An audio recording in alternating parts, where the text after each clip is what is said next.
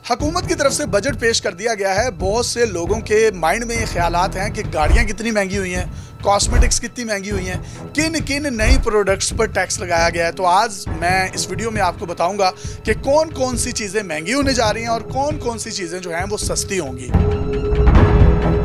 सबसे पहले इस हुकूमत ने ओवरसीज पाकिस्तानियों के लिए एक बड़ी खुशखबरी का ऐलान किया है। अब ये ओवरसीज पाकिस्तानी अगर पाकिस्तान में किसी भी किस्म का कोई प्रॉपर्टी प्लॉट या कोई जायदाद खरीदेंगे तो इन पर दो फ़ीसद टैक्स नहीं लगेगा। जबकि आमतौर पर जो आ, पाकिस्तानी है उन पर ये दो फ़ीसद टैक्स लगता है। इसके अलावा उस शख्स को किसी भी एक हथियार का लाइसेंस रखने की इजाज़त होगी और उसको वो लाइसेंस हुकूमत पाकिस्तान की जानब से दिया जाएगा। पचास हज़ार डॉलर जो सालाना पाकिस्तान में भेज भेज रहा है, बाहर बैठा हुआ एक पाकिस्तानी। उसको एक हुकूमत पाकिस्तान की तरफ़ से डायमंड कार्ड मिलेगा। इसका फ़ायदा ये होगा कि एयरपोर्ट पर इसको फास्ट ट्रैक सहूलियात दी जाएँगी। यानी उसको लंबी लंबी कतारों में नहीं लगना पड़ेगा। और तो और इनको कुरानदाजी के ज़रिए इनाम भी दिए जाएँगे। इस डायमंड कार्ड का उस ओवरसीज को ये फ़ायदा होगा कि अगर वो कहीं पासपोर्ट बनवाने गया है या किसी एम्बेसी में गया है या किसी कौंसल खाने में गया है या किसी भी सरकारी ऑफ़िस में गया है तो उसको जो है प्योरिटी पर, क्योंकि वो पाकिस्तान में मैशियत को चलाने और इसका पहिया चलाने के लिए एक बड़ी खतीर रकम जो है वो बाहर से ज़र मुबादला की सूरत में पाकिस्तान में भेज रहा है। लिहाजा उसको ये प्रोटोकॉल दिया जाएगा और ये बड़ी खुश आइंद बात है। अब ये सिर्फ़ बातों की हद तक है या प्रैक्टिकली भी इसके मनाजिर हमें नज़र आएँगे मुस्तबिल में? इसका फैसला जो है वो वक्त ही करेगा।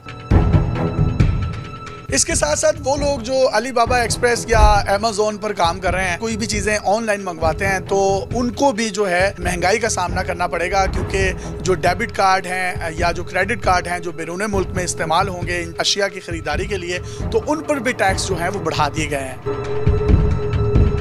इस बजट में पंखे महँगे होंगे, इन पर एक्साइज ड्यूटी दो हज़ार रुपए जो है, वो आयद कर दी गई है। इसके साथ साथ आपके घरों में जो पुराने पीली लाइट वाले बल्ब हुआ करते थे, वो बल्ब बहुत ज़्यादा एनर्जी कंज्यूम करते हैं। तो उन बल्ब को भी महँगा कर दिया गया है, ताकि जब लोगों को वो बल्ब महँगे मिलेंगे तो वो एनर्जी सेवर्स की तरफ़ जाएँगे।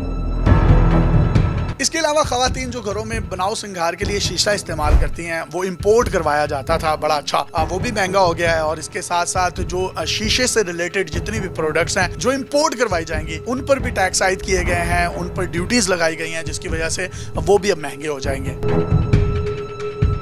सोलर पैनल की मशीनरी और इसके जो स्पेयर पार्ट्स जब आप बाहर से मंगवाएँगे तो उस पर से भी टैक्स जो है, उसको कम कर दिया गया है। यानी इसकी इंपोर्ट मजीद सस्ती हो जाएगी। जो सोलर पैनल है, ये सस्ते होने जा रहे हैं और जबकि जो बिजली है, वो थोड़ी सी महँगी होगी। इससे पहले गर्मियों में जब आप यूपीएस लगवाते थे तो वो काफ़ी महँगे थे। अब यूपीएस बैटरीज और बैटरी से चलने वाली जितनी अशिया उन पर ड्यूटीज़ खत्म कर दी गई हैं, जिसकी वजह से आपके घर के जो यूपीएस हैं, वो इंतहाई सस्ते हो जाएँगे। खातन बहुत ज़्यादा फ़ैशन करती हैं, पर्स मंगवाती हैं और मर्द भी उनसे पीछे नहीं है। जितने भी इम्पोर्टेड पर्स हैं, वो महँगे हो जाएँगे लेदर महँगी हो जाएगी लेदर की जैकेट्स महँगी हो जाएँगी, मर्दाना पर्स महँगे हो जाएँगे। और इसकी वजह यह है कि इन पर सेल्स टैक्स बढ़ाया गया। ये पहले सेल्स टैक्स बारह फ़ीसद था, अब वो बढ़ाकर पंद्रह फ़ीसद कर दिया गया इसके साथ साथ जो लंडा है, उसको सस्ता कर दिया गया अगर कोई जेंटलमैन बनना चाहता है। तो वो लंडे का जेंटलमैन बन सकता है लेकिन वो इन महँगी इम्पोर्टेड अशिया को पहनकर जेंटलमैन नहीं बन सकता। इस बजट की सबसे अच्छी चीज़ जो है, वो कंस्ट्रक्शन के हवाले से है। जो लोग अपने घर की कंस्ट्रक्शन करना चाहते हैं, उनको खसूसी तौर पर रियायत मिलेगी। जो बिल्डर्स घर बनाते थे, उनको 10 फ़ीसद या 50 लाख रुपए तक जो है, वो रियायत दी जाएगी। और जो लोग अपना जाती मकान बनाने की ख्वाहिश रखते हैं और वेट कर रहे थे, वो भी अब अपना मकान बनाना शुरू कर दें, क्योंकि हुकूमत उनको दस लाख रुपए तक का टैक्स क्रेडिट देगी। जितने भी डायपर्स हैं पैम्पर्स हैं पैड्स हैं नैपकिन हैं बच्चों की, ये तमाम जितनी भी चीज़ें हैं, इन पर कस्टम ड्यूटी जो है वो ख़त्म कर दी है। जिसकी वजह से अब पैम्पर्स डायपर्स बच्चों के बेब्स और नैपकिन जो हैं, ये सस्ते हो जाएँगे।